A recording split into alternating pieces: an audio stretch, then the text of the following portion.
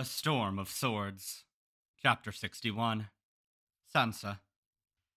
Far across the city, a bell began to toll. Sansa felt as though she were in a dream. Joffrey is dead, she told the trees to see if that would wake her. He had not been dead when she left the throne room. He had been on his knees, though, clawing at his throat, tearing at his own skin as he fought to breathe. The sight of it had been too terrible to watch, and she had turned and fled, sobbing. Lady Tanda had been fleeing as well. You have a good heart, my lady, she said to Sansa. Not every maid would weep so for a man who set her aside and wed her dwarf. A good heart. I have a good heart. Hysterical laughter rose up her gullet, but Sansa choked it back down. The bells were ringing, slow and mournful, ringing, ringing, ringing. They had rung for King Robert the same way. Joffrey was dead, he was dead, he was dead, dead, dead. Why was she crying when she wanted to dance? Were they tears of joy? She found her clothes where she had hidden them the night before last. With no maids to help her, it took her longer than it should have to undo the laces of her gown. Her hands were strangely clumsy, though she was not as frightened as she ought to have been. The gods are cruel to take him so young and handsome at his own wedding feast, Lady Tanda had said to her. The gods are just, thought Sansa. Robb had died at a wedding feast as well. It was Robb she wept for. Him and Margaery. Poor Margaery, twice wed and twice widowed. Sansa slid her arm from a sleeve, pushed down the gown, and wriggled out of it. She balled it up and shoved it into the bole of an oak, shook out the clothing she had hidden there. Dress warmly, Sir Dontos had told her, and dress dark. She had no blacks, so she chose a dress of thick brown wool. The bodice was decorated with freshwater pearls, though. The cloak will cover them. The cloak was a deep green with a large hood. She slipped the dress over her head and donned the cloak, though she left the hood down for the moment. There were shoes as well, simple and sturdy, with flat heels and square toes. The gods heard my prayer, she thought. She felt so numb and dreamy. My skin is turned to porcelain, to ivory, to steel. Her hands moved stiffly, awkwardly, as if they had never let down her hair before. For a moment she wished Shae was there to help her with the net. When she pulled it free, her long auburn hair cascaded down her back and across her shoulders. The web of spun silver hung from her fingers, the fine metal glimmering softly, the stones black in the moonlight. Black amethysts from Asshai. One of them was missing. Sansa lifted the net for a closer look. There was a dark smudge in the silver socket where the stone had fallen out. A sudden terror filled her, her heart hammered against her ribs, and for an instant she held her breath. Why am I so scared? It's only an amethyst. A black amethyst from Asshai, no more than that. It must have been loose in the setting, that's all. It was loose, and it fell out, and now it's lying somewhere in the throne room, or in the yard. Unless. Sir Dontos had said the hairnet was magic, that it would take her home. He told her she must wear it tonight at Joffrey's wedding feast. The silver wire stretched tight across her knuckles. Her thumb rubbed back and forth against the hole where the stone had been. She tried to stop, but her fingers were not her own. Her thumb was drawn to the hole as the tongue is drawn to a missing tooth. What kind of magic? The king was dead, the cruel king who had been her gallant prince a thousand years ago. If Dontos had lied about the hairnet, had he lied about the rest as well? What if he never comes? What if there is no ship, no boat on the river, no escape?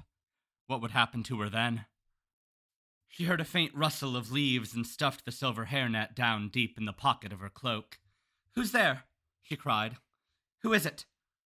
The godswood was dim and dark, and the bells were ringing Joff into his grave. Me. He staggered out from under the trees, reeling drunk. He caught her arm to steady himself. Sweet Jonquil, I've come. Your Florian is come. Don't be afraid. Sansa pulled away from his touch. You said I must wear the hairnet. The silver net with. What sorts of stones are those? Amethysts. Black amethysts from Asshai, my lady. They're no amethysts, are they? Are they? You lied. Black amethysts, he swore. There was magic in them. There was murder in them. Softly, my lady, softly. No murder. He choked on his pigeon pie. Dontos chortled. Oh, tasty pigeon pie. silver and stones, that's all it was. Silver and stone and magic. The bells were tolling, and the wind was making a noise like he had made as he tried to suck a breath of air. You poisoned him. You did. You took a stone from my hair. Hush! You'll be the death of us. I did nothing. Come, we must be away. They'll search for you. Your husband's been arrested. Tyrion? she said, shocked. Do you have another husband? The imp, the dwarf uncle, she thinks he did it. He grabbed her hand and pulled at her. This way. We must away. Quickly now. Have no fear. Sansa followed, unresisting. I could never abide the weeping of women, Joff once said, but his mother was the only woman weeping now. In old Nan's stories, the grumkins crafted magic things that could make a wish come true. Did I wish him dead? She wondered before she remembered that she was too old to believe in grumkins. Tyrion poisoned him? Her dwarf husband had hated his nephew, she knew. Could he truly have killed him? Did he know about my hairnet? About the black amethysts? He brought Joff wine. How could you make someone choke by putting an amethyst in their wine? If Tyrion did it, they will think I was part of it as well, she realized with a start of fear. How not? They were man and wife, and Joff had killed her father and mocked her with her brother's death. One flesh, one heart, one soul. Be quiet now, my sweetling, said Dontos. Outside the godswood we must make no sound. Pull up your hood and hide your face. Sansa nodded and did as he said. He was so drunk that sometimes Sansa had to lend him her arm to keep him from falling. The bells were ringing out across the city, more and more of them joining in. She kept her head down and stayed in the shadows close behind Dontos. While descending the serpentine steps, he stumbled to his knees and retched. My poor Florian, she thought, as he wiped his mouth with a floppy sleeve. Dressed dark, he'd said, yet under his brown hooded cloak he was wearing his old surcoat, red and pink horizontal stripes beneath a black chief bearing three gold crowns, the arms of House Hollard. Why are you wearing your surcoat? Joff decreed it was death if you were caught dressed as a knight again. He. Oh. Nothing Joff had decreed mattered any longer. I wanted to be a knight. For this, at least. Dontos lurched back to his feet and took her arm. Come, be quiet now. No questions. They continued down the Serpentine and across a small sunken courtyard. Sir Dontos shoved open a heavy door and lit a taper. They were inside a long gallery. Along the walls stood empty suits of armor, dark and dusty, their helms crested with rows of scales that continued down their backs. As they hurried past, the taper's light made the shadows of each scale stretch and twist. The hollow knights are turning into dragons, she thought. One more stair took them to an oaken door banded with iron. Be strong now, my jonquil. You're almost there. When Dontos lifted the bar and pulled open the door, Sansa felt the cold breeze in her face. She passed through twelve feet of wall, and then she was outside the castle, standing at the top of the cliff. Below was the river, above the sky, and one was as black as the other. We must climb down, Sir Dontos said. At the bottom, a man is waiting to row us out to the ship. I'll fall. Bran had fallen, and he had loved to climb. No, you won't. There's a sort of ladder, a secret ladder carved into stone. Here, you can feel it, my lady. He got down on his knees with her and made her lean over the edge of the cliff, groping with her fingers until she found the handhold cut into the face of the bluff. Almost as good as rungs. Even so, it was a long way down. I, I can't. You must. Isn't there another way? This is the way. It won't be so hard for a strong young girl like you. Hold on tight and never look down, and you'll be at the bottom in no time at all. His eyes were shiny. Your poor Florian is fat and old and drunk. I'm the one should be afraid. I used to fall off my horse, don't you remember? That was how we began. I was drunk and fell off my horse, and Joffrey wanted my fool head, but you saved me. You saved me, sweetling. He's weeping, she realized. And now you have saved me. Only if you go. If not, I have killed us both. It was him, she thought. He killed Joffrey. She had to go, for him as much as for herself. You go first, sir. If he did fall, she did not want him falling down on her head and knocking both of them off the cliff. As you wish, my lady. He gave her a sloppy kiss and swung his legs clumsily over the precipice, kicking about until he found a foothold. Let me get down a bit and, and come after. You, you will come now? You must swear it. I'll come, she promised. Sir Dontos disappeared. She could hear him huffing and puffing as he began the descent. Sansa listened to the tolling of the bell, counting each ring. At ten, gingerly, she eased herself over the edge of the cliff, poking with her toes until they found a place to rest. The castle walls loomed large above her, and for a moment she wanted nothing so much as to pull herself up and run back to her warm rooms in the kitchen keep. Be brave, she told herself. Be brave like a lady in a song. Sansa dared not look down. She kept her eyes on the face of the cliff, making certain of each step before reaching to the next. The stone was rough and cold. Sometimes she could feel her fingers slipping, and the handholds were not as evenly spaced as she would have liked. The bells would not stop ringing. Before she was halfway down, her arms were trembling, and she knew that she was going to fall. One more step, she told herself. One more step. She had to keep moving. If she stopped, she would never start again, and dawn would find her still clinging to the cliff, frozen in fear. One more step and one more step. The ground took her by surprise. She stumbled and fell, her heart pounding. When she rolled onto her back and stared up at from where she had come, her head swam dizzily and her fingers clawed at the dirt. I did it! I did it! I didn't fall. I, I made the climb, and now I'm going home. Sir Dontos pulled her back to her feet. This way. Quiet now. Quiet. Quiet. He stayed close to the shadows that lay black and thick beneath the cliffs. Thankfully, they did not have to go far. Fifty yards downriver, a man sat in a small skiff, half hidden by the remains of a great galley that had gone aground there and burned. Dontos limped up to him, puffing. Oswell? No names, the man said. In the boat. He sat hunched over his oars, an old man, tall and gangling, with long white hair and a great hooked nose, eyes shaded by a cowl. Get in, be quick about it, he muttered. We need to be away. When both of them were safe aboard, the cowled man slid the blades into the water and put his back into the oars, rowing them out toward the channel. Behind them, the bells were still tolling the boy king's death. They had the dark river all to themselves. With slow, steady, rhythmic strokes, they threaded their way downstream, sliding above the sunken galleys, past broken masts, burned hulls, and torn sails. The oarlocks had been muffled, so they moved almost soundlessly. A mist was rising over the water. Sansa saw the embattled ramparts of one of the imp's winch towers looming above, but the great chain had been lowered, and they rode unimpeded past the spot where a thousand men had burned. The shore fell away, the fog grew thicker, the sound of the bells began to fade. Finally, even the lights were gone, lost somewhere behind them. They were out in Blackwater Bay, and the world shrank to dark water, blowing mist, and their silent companions stooped over the oars. How far must we go? she asked. No talk. The oarsman was old, but stronger than he looked, and his voice was fierce. There was something oddly familiar about his face, though Sansa could not say what it was. Not far. Sir Dontos took her hand in his own and rubbed it gently. Your friend is near, waiting for you. No talk, the oarsman growled again. Sound carries over water, sir fool. Abashed, Sansa bit her lip and huddled down in silence. The rest was rowing, rowing, rowing.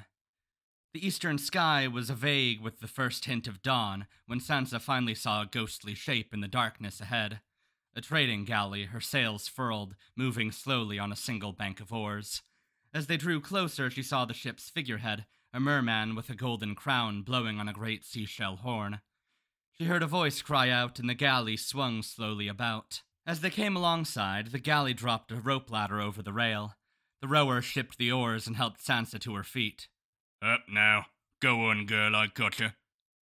Sansa thanked him for his kindness, but received no answer but a grunt. It was much easier going up the rope ladder than it had been going down the cliff. The oarsman Oswell followed close behind her, while Sir Dontos remained in the boat. Two sailors were waiting by the rail to help her onto the deck. Sansa was trembling. She's cold, she heard someone say. He took off his cloak and put it around her shoulders. There, is that better, my lady? Rest easy, the worst is past and done. She knew the voice. But he's in the Vale, she thought. Sir Lothar Brune stood beside him with a torch. Lord Petyr, Dontos called from the boat. I must needs row back before they think to look for me. Petyr Baelish put a hand on the rail. But first you'll want your payment. Ten thousand dragons, was it? Ten thousand. Dontos rubbed his mouth with the back of his hand. As you promised, my lord. Sir Lothar, the reward. Lothar Brune dipped his torch. Three men stepped to the gunwale, raised crossbows, fired.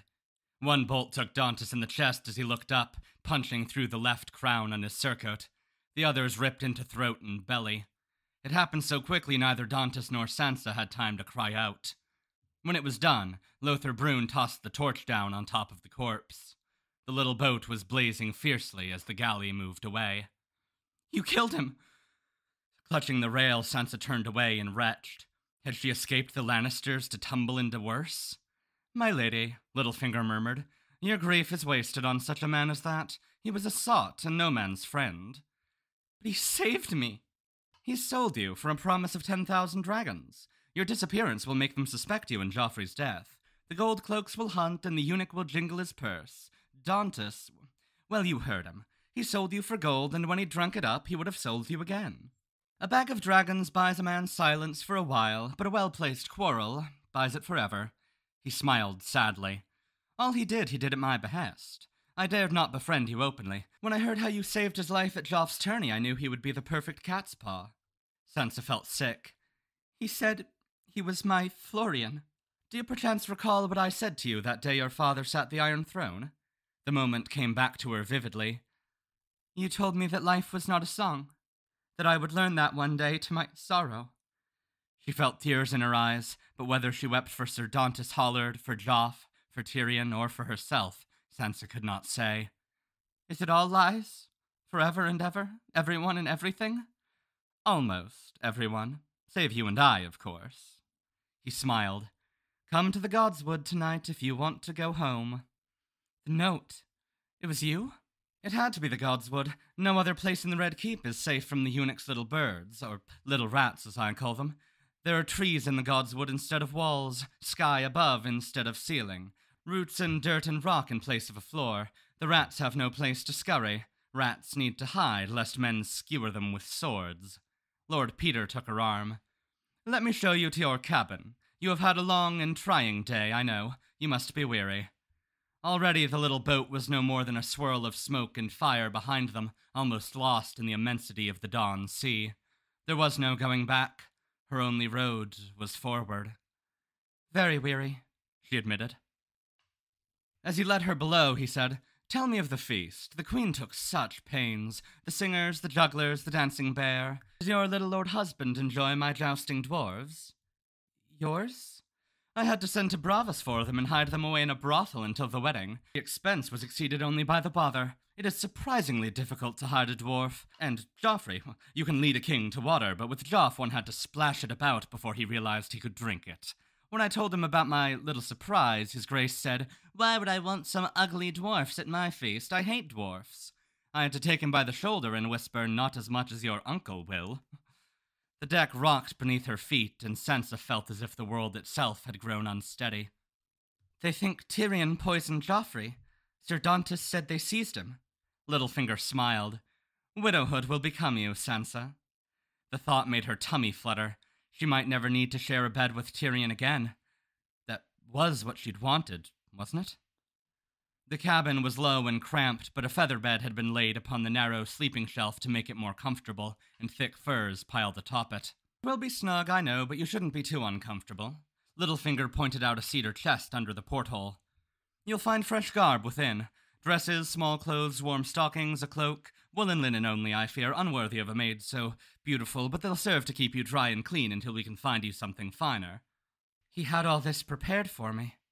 My lord, I. I do not understand. Joffrey gave you Harrenhal, made you Lord Paramount of the Trident. Why? Why should I wish him dead? Littlefinger shrugged. I had no motive.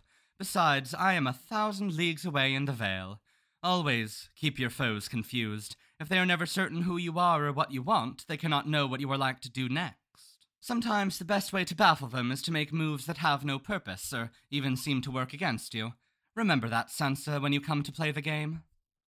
What. What game? The only game. The Game of Thrones. He brushed back a strand of her hair.